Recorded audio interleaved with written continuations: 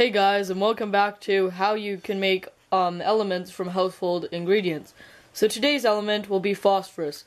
We're going to be uh, subtracting red phosphorus from these old matchboxes.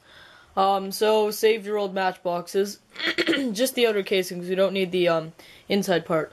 Um, many people use um, acetone to remove the red phosphorus off the striking pads, but I'm going to be using isopropyl rubbing um, alcohol, 99%. Uh, lower concentrations would probably work, but um, I haven't experimented with that, so I just use 99%.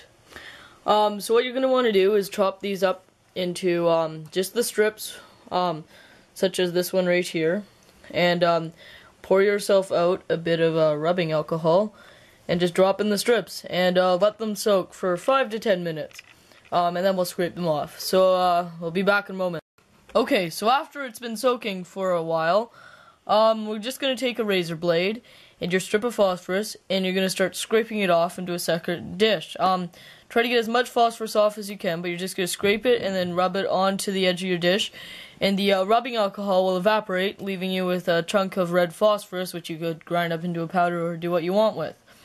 Um, in a later video, we'll probably be turning that into white phosphorus and attempting to make a blob of white phosphorus. Um, so you can look for that in the future. Um, but anyhow, I'll be back when I've scraped off all of this red phosphorus. Okay, so now that we're done that, we're left with this kind of icky powder that's contaminated with a lot of cardboard. But there's plenty of red phosphorus in there.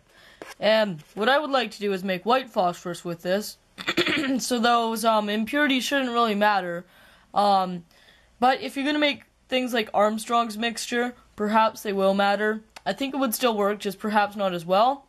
Um, if you're looking to make Armstrong's mixture, then instead of using the strips with the um, little teeny dots of phosphorus on them, you're going to want to actually use the match strips, which are just 100% phosphorus. So it's just an entire strip of red with no little dots on it.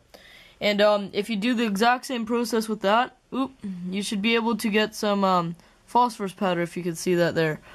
Um, so that's a red phosphorus in there and it's uh, very uh, pure. So that is exactly what you want for Armstrong's mix. I'll do a, a separate video on that sometime on how to make Armstrong's mix. Anyhow, so I hope you enjoyed.